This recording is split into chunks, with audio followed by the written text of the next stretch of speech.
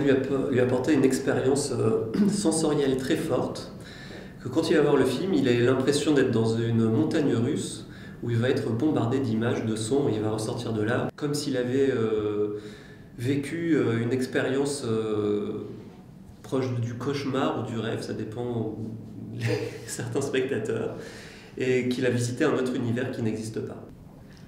C'est un film qui parle de fantasmes, du comme si on rentrait un peu dans la tête du personnage principal et on vit un peu ses fantasmes, on rentre dans sa tête et dans son imagerie.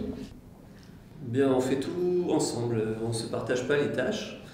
Et donc euh, on fait un gros travail de préparation avant d'être euh, sur le tournage pour euh, qu'on soit d'accord tous les deux, puisqu'on est quand même deux personnes très différentes et il faut qu'on arrive à être d'accord. Et vu que c'est un film qui est basé sur la sensation, sur la, quelque chose de très subjectif, et que c'est un peu comme les goûts et les couleurs, euh, on a tous des goûts très différents, ben voilà, on essaie de s'harmoniser avant de pouvoir euh, tourner le film.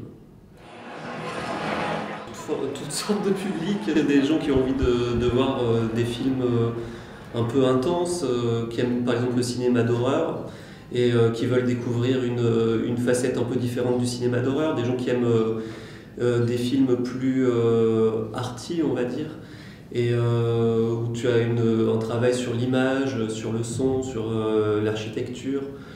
C'est un, film quand même qui s'adresse aussi particulièrement au public belge, dans le sens où il y a tout le patrimoine art nouveau qui est abordé, et puis il y a un retour un peu à un cinéma surréaliste qui est de moins en moins fréquent en Belgique. voilà.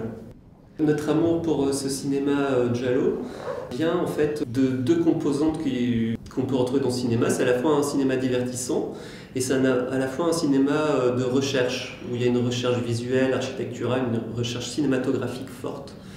Et euh, donc nous, on fait notre film euh, dans cet esprit-là, dans le sens où on essaie de faire un film ludique, divertissant, où c'est un jeu avec le spectateur, c'est on construit un labyrinthe, et c'est au spectateur de trouver la sortie. C'est à toi de trouver la sortie du film.